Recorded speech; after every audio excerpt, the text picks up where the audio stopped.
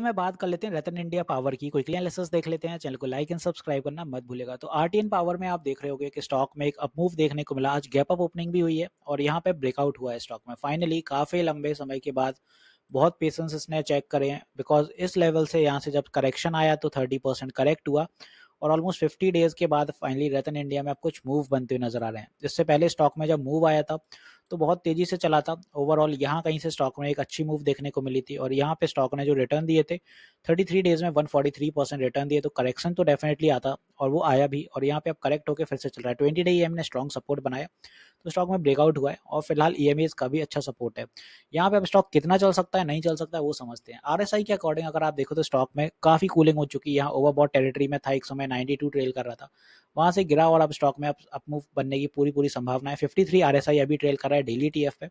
Weekly के according देखें तो यहाँ भी काफ़ी करेक्ट हो चुका है और 64 के आसपास 63 के अराउंड यहाँ भी ट्रेल कर रहा है। यहाँ भी ई के ऊपर है तो संभावनाएँ अब अच्छी आ रही है कि Rattan India power up move दिखाएगा।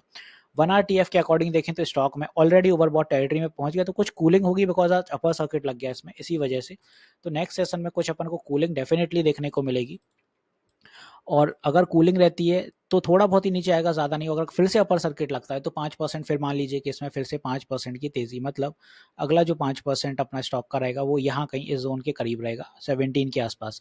तो ये अपना पाँच पाँच परसेंट है। तो यहाँ कहीं पे एक टारगेट तो पहला यही हो जाता है।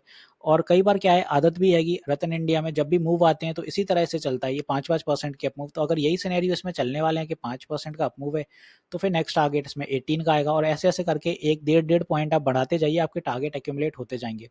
बट यहाँ पे आप देख लीजिएगा कि अपर सर्किट लग ज़रूर रहे हैं बट उसके पहले एक छोटा मोटा पुल बैक भी रहेगा क्योंकि बाइंग एक दो दिन अच्छी देखने को मिलती है। फिर कहीं ना कहीं पुल बैक शुरू हो जाते हैं। हालाँकि आज वॉल्यूम अच्छा रहा ट्वेंटी फोर मिलियन के आसपास का वॉल्यूम रहा तो काफ़ी वॉल्यूम में इजाफा देखने को मिला है। और ब्रेक ब्रेकआउट हुआ है तो कुछ पुल बैक और रिटेस्टिंग भी होगी, उसके बाद अच्छी तेज़ी आएगी। तो मान लीजिए यहाँ से मान, कल के दिन अगर एक अपर सर्किट लगता है तो यहाँ तक पहुंचेगा, फिर मे भी इसमें एक पुल बैक आए और फिर ये चलना शुरू करे। तो उसके बाद फिर अपने टारगेट रहेंगे। तो एक डेढ़ पॉइंट के टारगेट सफिशियंट है, इसी लेवल के साथ स्टॉक आगे के टारगेट दिशा निर्धारित करेगा। तो ये सारे अपने इसमें आने वाले दिनों के लिए अपमूव हैंगे कि इन्हीं लेवल्स पे स्टॉक हर्डल फेस करते हुए ऊपर की दिशा पे जाएगा। और यहाँ पे संभावना है कि फिर से ये जो हाई दिया था स्टॉक ने 21 का भी रिसेंट यहाँ कहीं तक पहुँचे और फिर ब्रेकआउट देने की कोशिश करे ऊपर के लेवल पे। तो ऊपर के लेवल पे अगर स्टॉक चलता है, ज़्यादा अपन टारगेट लेके नहीं चलते हैं, अगर यहाँ से अपना 25 परसेंट भी अप रहता है तो फिर हाई के आसपास ही पहुँच जाएगा ये। जो रिसेंट हाई इसका था 21 के आसपास, वहाँ तक ये पहुँच सकता है। तो इतनी दूरी भी नहीं है स्टॉक में, चल सकता है, क्योंकि वॉल्यूम इसमें बहुत हैवी रहते हैं, जब इसमें मूव आता है।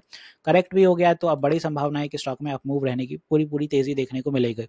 यहाँ पे बस छोटा मोटा पुल बैक होगा तो उसमें पैनिक मत करिएगा। एज ऑफ़ वो वन आर टी के अकॉर्डिंग पुल बैक होगा हेल्दी पुल बैक होगा, तभी उसमें एक तेज़ी आएगी। तो पुल बैक जब भी आते हैं स्टॉक मतलब और स्ट्रांग होकर आ रहा है। ये पुल बैक क्यों आया? ये करेक्शन क्यों हुआ? मतलब स्टॉक और स्ट्रांग होकर आएगा। तो इसीलिए करेक्शन इंपॉर्टेंट होते हैं। तो यहाँ पे आप फिर से स्टॉक अप मूव पकड़ेगा। आई होप यहाँ मैंने रतन इंडिया अच्छे से क्लियर किया है। एक चीज़ और बता दूँ, मैं लाइव सेशंस भी लेता हूँ। मार्केट आर में सुबह दस बजे से एक बजे तक और शाम नौ बजे भी।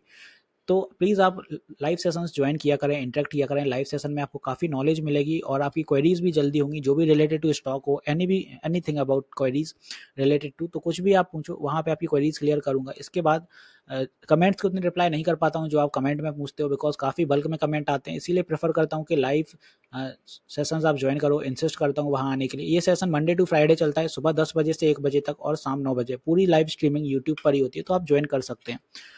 तो आई होप यहाँ पे आरटीएन पावर में मैंने सारी चीज़ें क्लियर कर दी हैं। ऊपर के लेवल में ये सारे अपने रेजिस्टेंस हैं और स्टॉक में जो स्ट्रॉन्ग सपोर्ट होगा कि भाई एनिमीज कोई पुल बैक है तो ये ई एम स्ट्रॉन्ग सपोर्ट होगा। इसके नीचे नहीं जाने वाला फ़िलहाल सिक्सटीन तो मिलते हैं नेक्स्ट वीडियो में। This is me Shubham Yadav signing off